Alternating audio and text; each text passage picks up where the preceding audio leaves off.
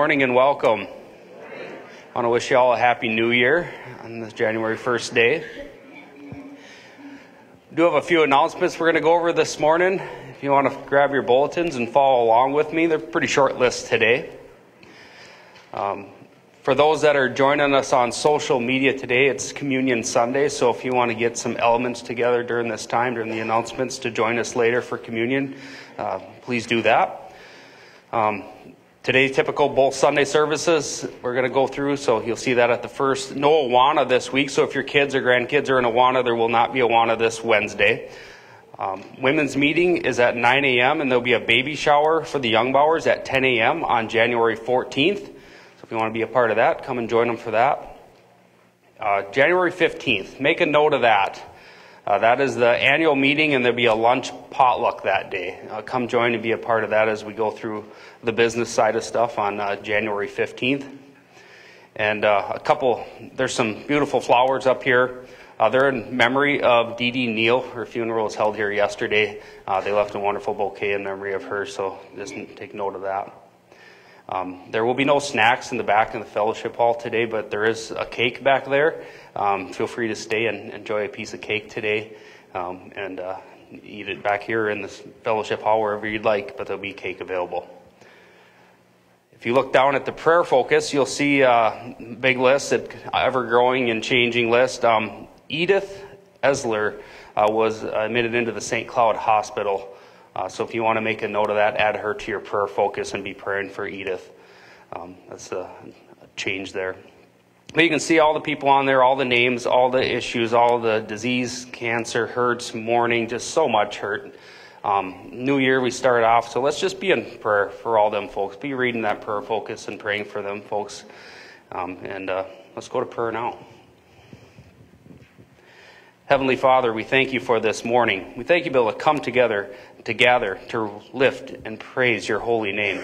Be with Pastor Jim as he brings us a message this morning. As we start this new year, just be with us through this year. Have this be a year, Lord, that we just can be the light in this community, to, to guide us and direct us and move us in the way you'd have us move. And just bring all glory to you through it all. Uh, we need your power. We need your spirit through it all, God. And we just ask for that today on this beginning of January 1st, 2023.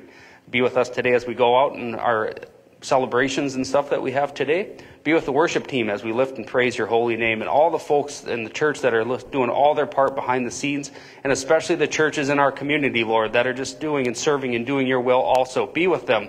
Join them this morning, and let's just around the world, around the globe, praise your holy name today. Lord God, we love you and we pray for all the folks on the prayer focus, all the struggles, all the needs, all the hurts. You know every story. Be with them today. Give them comfort and give them peace in their time of hurt and struggle. Lord God, we love you. We trust in you in all of this, and we pray it in your name, Jesus. Amen. We will welcome our praise team forward if you want to welcome the folks sitting around you this morning.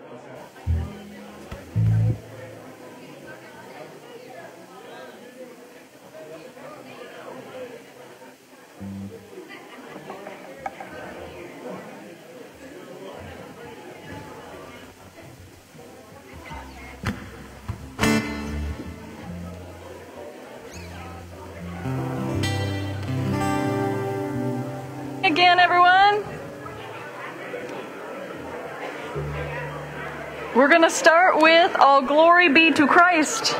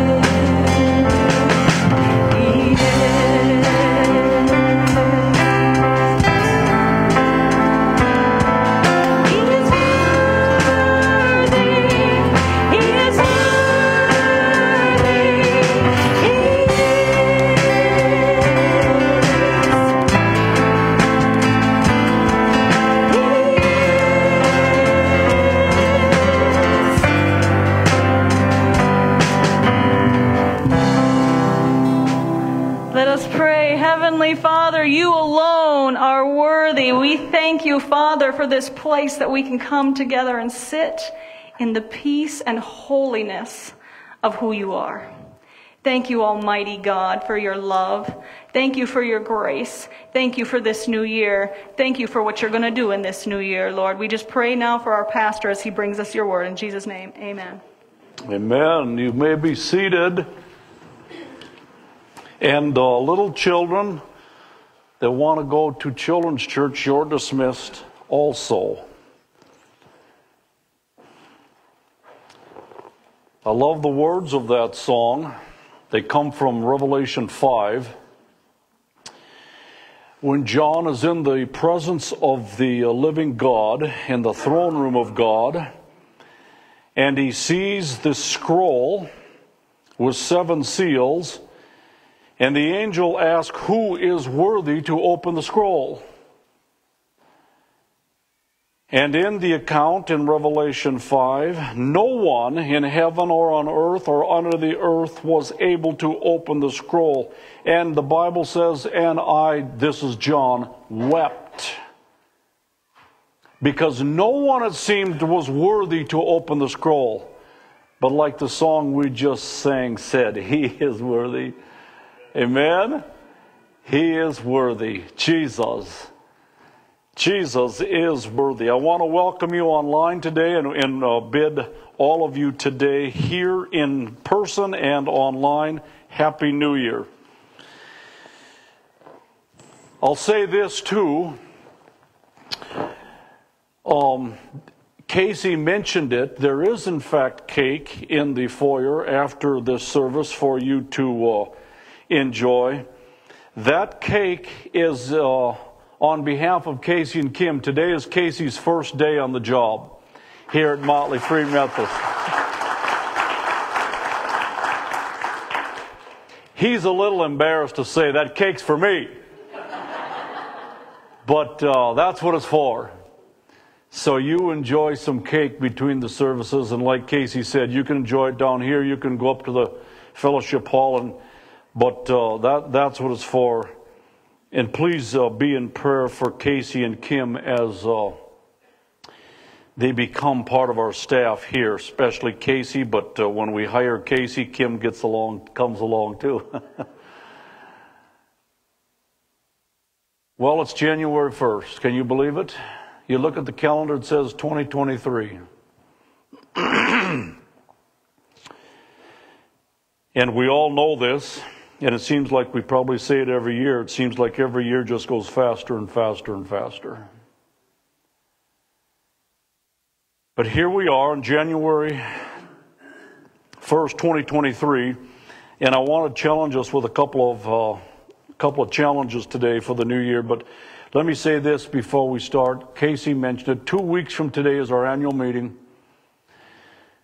And uh, I will share in this part of that Sunday, both services, some of the blessings and mercies of God and the highlights from this last year. I will share that more on that day for two reasons. One, I want to give God glory for His goodness. And, and two, I know that some of you may not be able to come to the uh, lunch. I hope that you can and meeting, but I'll share a bunch during the uh, morning sessions before the potluck meal and the meeting, but I do want you to know you're all invited to that.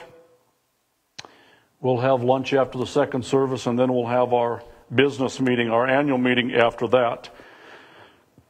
During that meeting this year, we'll be uh, electing three Board of Administration positions and re-electing or electing a delegate to our conference. And so I just want you to know you're all invited.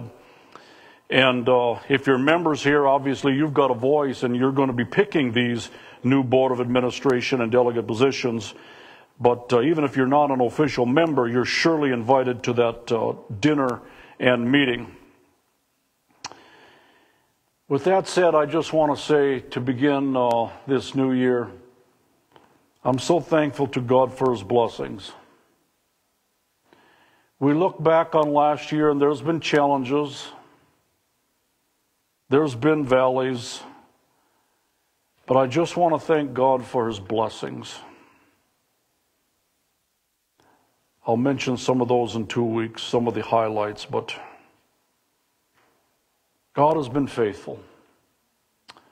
He's been faithful for, to us through it all, and I hope that we're mindful of that. I want to start with a quote today, then we're going to go to Scripture. We're going to go to Matthew or Micah chapter 6. But I want to, before I get there, I want to start with this, this quote from C.S. Lewis. I saw it online this past week. A couple people posted this, and I thought, man, how fitting is that for January 1st, the first Sunday of a brand new year? Here's the quote that I saw from C.S. Lewis If you live for the next world, you get this one in the deal. But if you live only for this world, you lose them both. C.S. Lewis said that a long time ago. Think that through a little bit. If you live for the next world, you get this one in the deal. But if you live only for this world, you lose them both.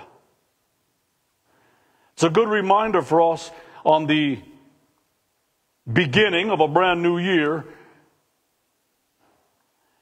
We're called by God to live for Him to be Holy Spirit led, to be students of the Bible, to be followers of Jesus Christ, and, and maybe, maybe as we begin this new year, it's a time to commit to living for the next world and for Jesus more than we have been. All right. Micah chapter 6. If you've got your Bible, I'm reading from the New Living Translation. Couple words different than from your New King James or, or King James, but it's, it's clear. It's clear what is being said here in Micah chapter 6. The first part of it is the Lord's case, if you will, against Israel. The second part of the verses is Micah's reply. Micah chapter 6, New Living Translation. Listen to what the Lord is saying. And this is the word of, this is the word of God here now, the, the voice of God. Stand up and state your case against me. He's speaking to Israel. I'll give you a little more of the history in just a minute. But God is speaking to the northern ten tribes of Israel. Remember, we have Judah and we have Israel after the split from, from David and Solomon. He's speaking to the northern ten tribes, and he's saying to them, Stand up and state your case against me.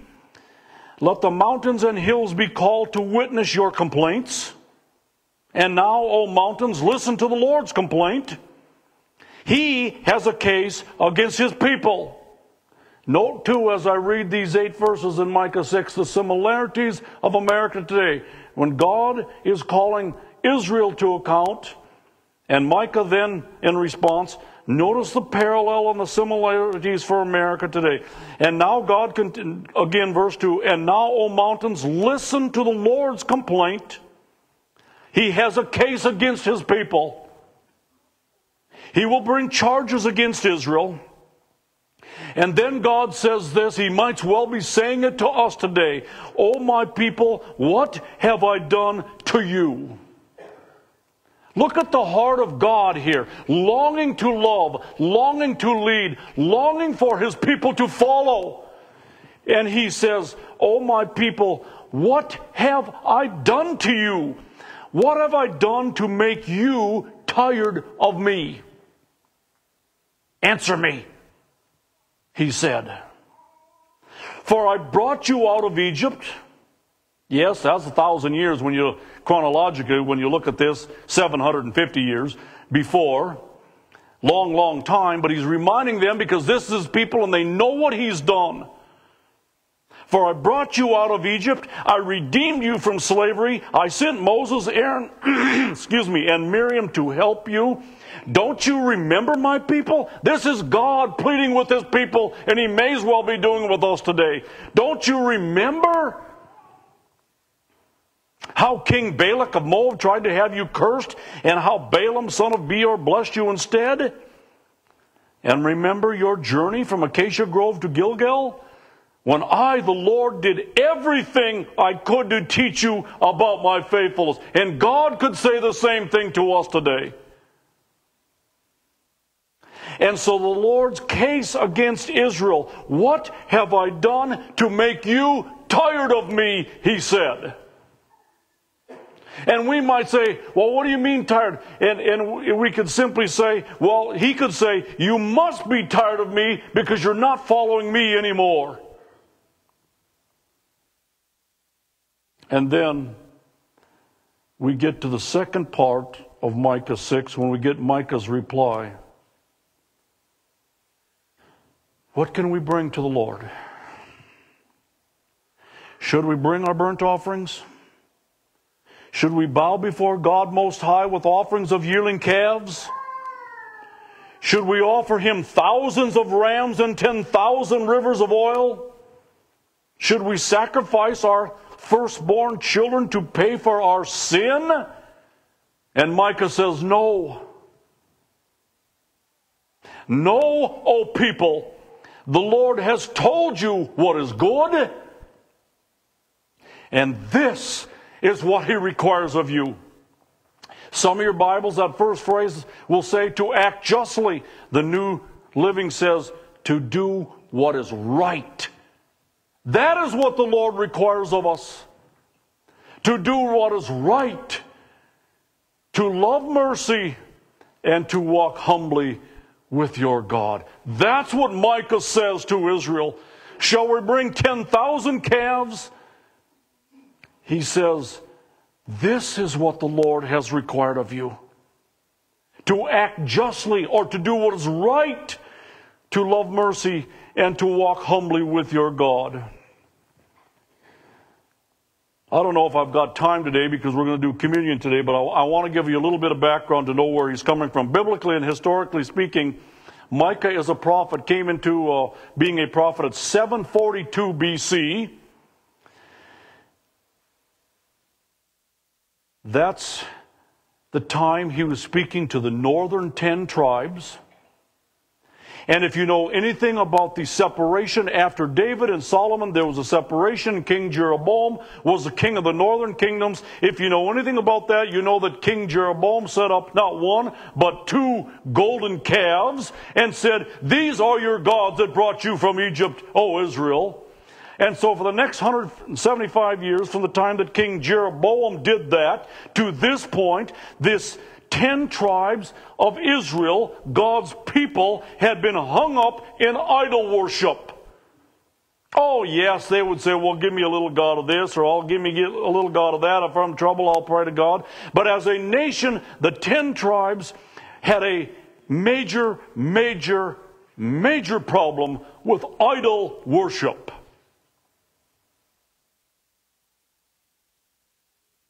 You can read more about that in 1 Kings chapter 12 if you'd like to. But my point is this the similarities between that time and ours are striking.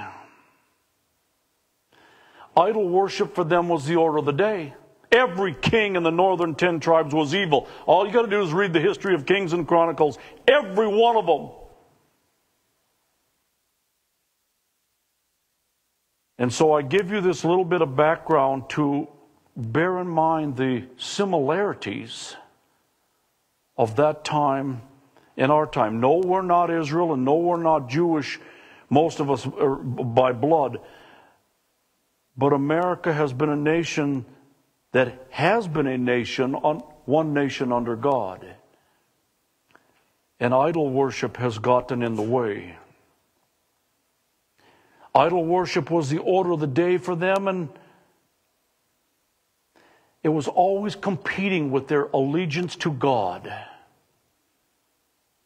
And it seems that's the order of today for multitudes of America. The idols of the day are always competing for our allegiance to God.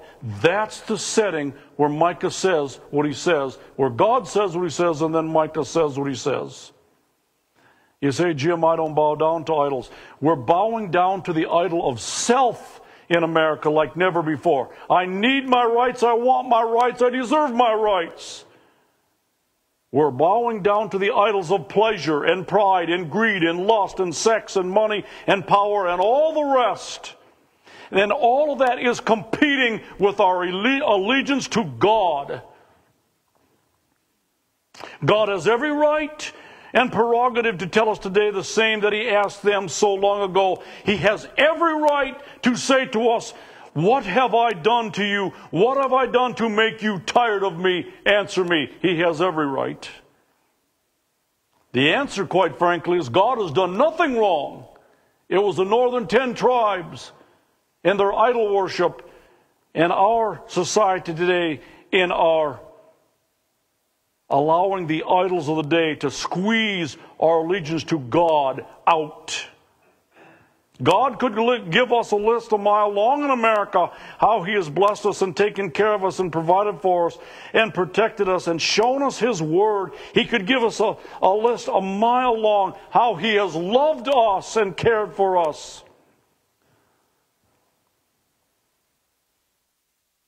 And we get to that response of Micah that says, What can we bring to Lord? And for our thought process and our answer, we could say, How can I honor, praise, and worship and serve Him this year? Shall I bring my burnt offerings? Shall I bow before God Most High with offerings of yearling calves? Should we offer Him thousands of rams and 10,000 rivers of oil? Should we sacrifice our firstborn children to pay for our sin? And Micah says to all of that, no. No. Oh, people, the Lord has told you what He wants. The Lord has told us what is good and what He requires of us. Let me break those three down just for a few minutes. I don't have a lot of time because we're going to go to communion. But I want to emphasize for a moment this is a heart issue. When Micah says, no, he's not asking for the burnt offerings. He's not asking for the rivers of oils. He's not asking for this. He's, he's asking us to act justly, to do what is right, to love mercy, to walk humbly with our God. This is a heart issue. This is not mechanical. This is because I love Him. To do what is right. I love the way the New Living says that. And that's why I chose the New Living Translation today, because he says to do what is right.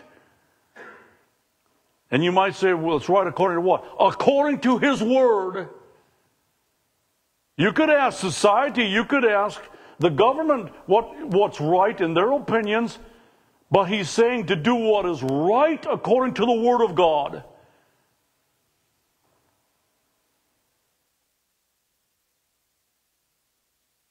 If I claim the name of Jesus, if I claim him as Lord and Messiah, I am obligated and instructed both in the Old and the New Testament to walk in obedience to Christ and to his teachings and to the Word of God. To do what is right is what God wants of his people.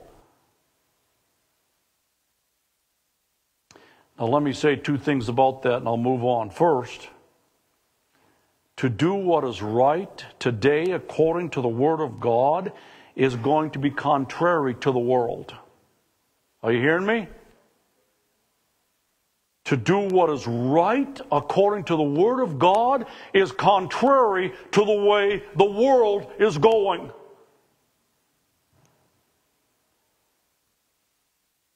To do what is right for us, John says this way later in the New Testament, is to walk as Jesus walked, not like the world. And if I haven't been doing what was right according to the Word of God, maybe this new year is the time to start. Be committed by the leading of the Spirit, by the studying of Scripture, by the power of God to do what is right according to the Word of God. I don't have time to elaborate on that. I'm going to give you one example, and I'm going to move on. There's so many things that could be said about that. Doing what is right according to the Word of God versus the way the world is going. There's so many things that could be said.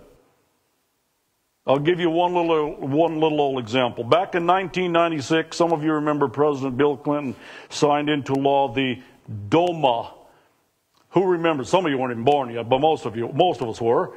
The Defense of Marriage Act, 1996. Bill Clinton, not your most upstanding and moral individual, but signed into law the Defense, the Defense of Marriage Act. What that simply said was marriage shall be one man and one woman in America, just like it had been for thousands of years in the past. In the 90s, if you know anything about our history in America, you know that we're starting to get on a slippery slope in that topic. And so in 1996, President Bill Clinton signed the Defense of Marriage Act, which said man shall be, marriage shall be one man and one woman. 1996. On December 13th, 2022, President Joe Biden signed into law Respect for Marriage Act, taking away the definition as one man and one woman to include lots of other scenarios.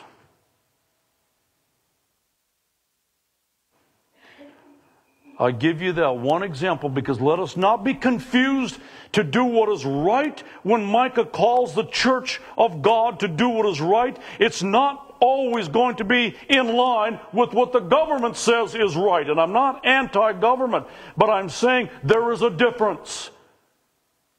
To do what is right by the word of God is what Micah is saying. Just because the government says this is law, it may not be right according to the Word of God. Micah also said to love mercy. Jesus said it this way in the Sermon on the Mount in Matthew 5 and 7 Blessed are the merciful, for they shall obtain mercy. God has been very merciful to us in America. No one can dispute that. He has been very merciful to us. We deserve condemnation and his wrath. He has been merciful and he calls us to love mercy. The Hebrew word for this is hesed, H E S E D, meaning a loyal love. That's what he calls us to a loyal love, translated further, to carry through on their commitments to meet other people's needs. That's loving mercy. Why? Because I love him. That's why. Are you with me this morning, friends? Out too late last night? No, you're still with me. Okay, we're almost done. We're going to go to communion in a minute. To do what is right is what God expects of us. To love mercy, to be merciful to others, to carry through on, their, on our commitment to help meet others' needs, and to walk humbly with our God. What does that mean? To walk humbly with our God. One of the commentators I read about that simply said, fellowship with God without arrogance. I say, Jim, what do you mean? He breaks it down further. For the alleged, alleged follower of Jesus, I'm a Christian. We can say that all day. I, I grew up in a Christian home. I live in a Christian nation, whatever. But for the alleged follower of Jesus to live like I want to live, to do what I want to do, in disregard to the obedience to God, is arrogance towards God. He has called us to deny ourselves, take up our cross, and follow Christ. That means leaving behind my old ways, my old desires, my old agenda. To walk humbly with our God means to fellowship with God without arrogance. In other words, to follow Him because I want to, no longer doing my own thing.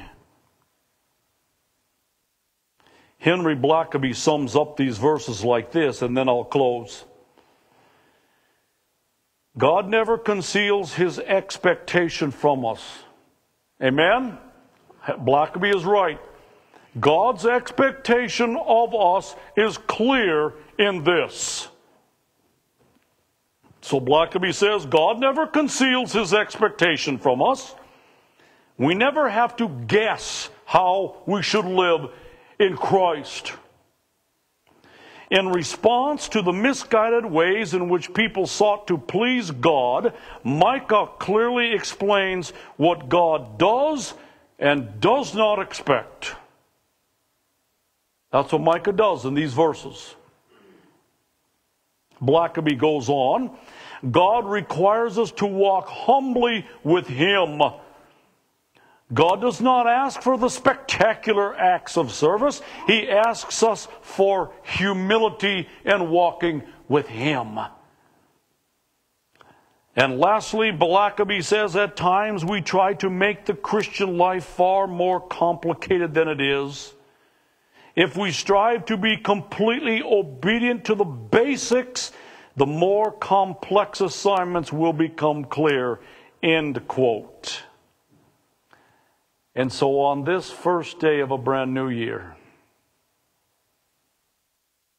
may we remember the words of Micah. In response to God's question, What have I done that you basically turned my back on you? Micah says, Shall we bring 10,000 gallons of oil? Shall we bring our firstborn to sacrifice them for sin? Our sin, and Micah says, No, O people, the Lord has told you what is good. To act justly, or in New Living Translation, to do what is right according to his word, to love mercy, and to walk humbly with our God. May that be our aim in 2023. Amen? Okay. We're going to spend some time in preparation for communion.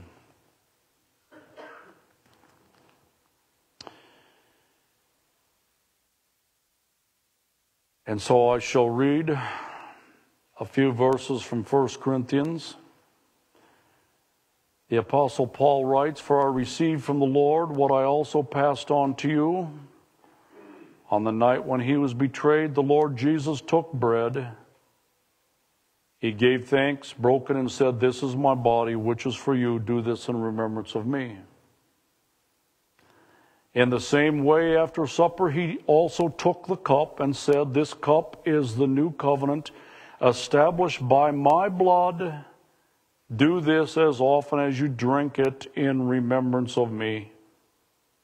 For as often as you eat this bread and drink this cup, you proclaim the Lord's death until he comes. And then Paul says this Whoever eats and drinks, eats the bread and drinks the cup of the Lord in an unworthy manner, will be guilty of sin against the body and blood of the Lord. And then he challenged us we should examine ourselves. So let a person examine himself.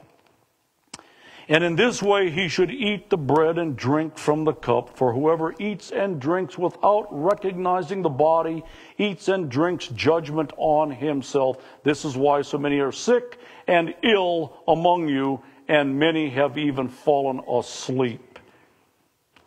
And so we're going to take a moment simply in quiet prayer, just you and the Lord, in preparation for the elements of the cup and the bread, examining ourselves, confessing anything that needs to be confessed, coming to the Lord's table in a manner, as Paul said, worthy to take the elements. Let's pray together quietly, silently for a moment.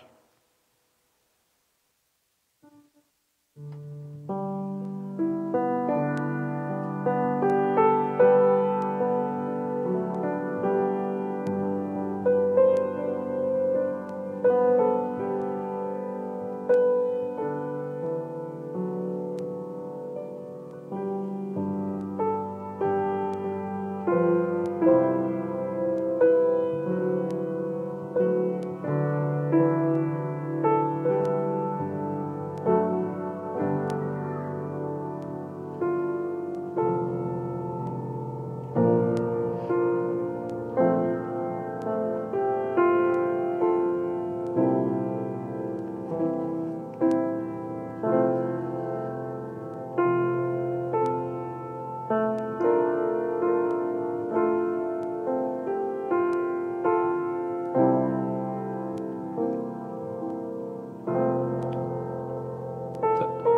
again, Lord, for the body and blood of Jesus. Thank you for the chance to celebrate communion on this first Sunday of 2023. Thank you for what these elements stand for the broken body of Jesus Christ, the Savior of the world, the blood that He shed for our sin. As we partake in these elements today, we say thank you. We say, forgive us of our sin.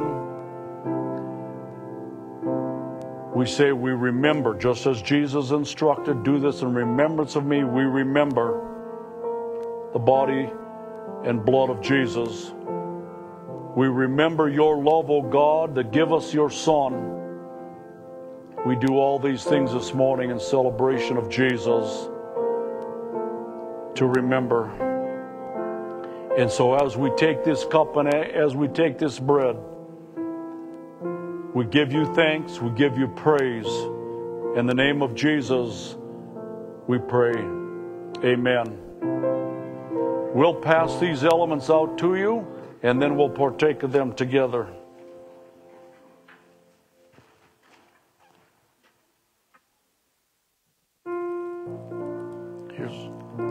In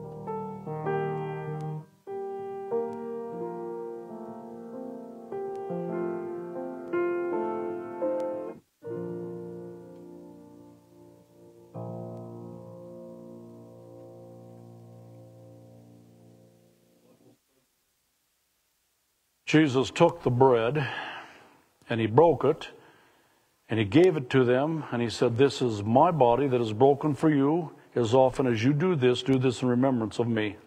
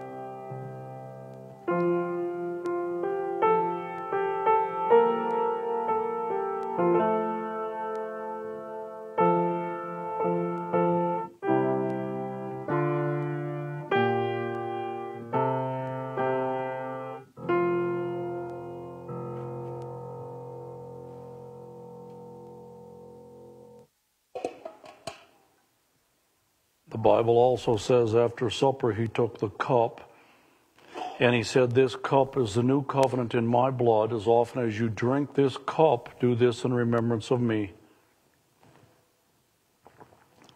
Let's stand together and sing our closing hymn.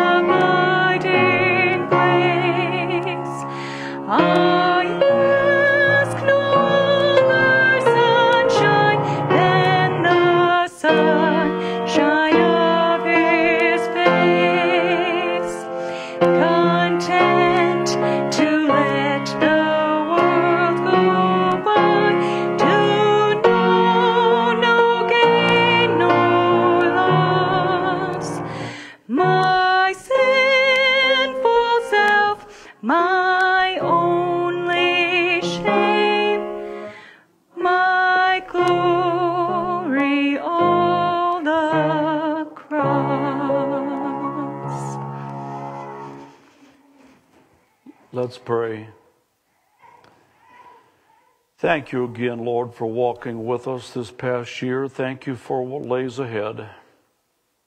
Will you guide us by your Spirit, Father, to a closeness to you that is absolutely transformational, absolutely profound?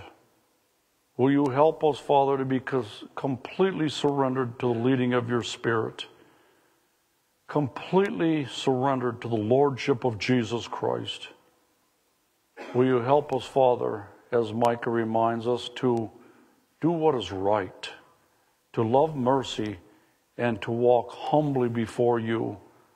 Will you lead us in this endeavor this year? Will you use us for your glory? Will you fill us and revive us with your spirit?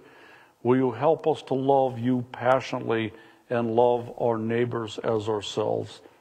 Go before us in this new year, Father, we pray for the glory of God, for the furthering of your kingdom, for the salvation of souls.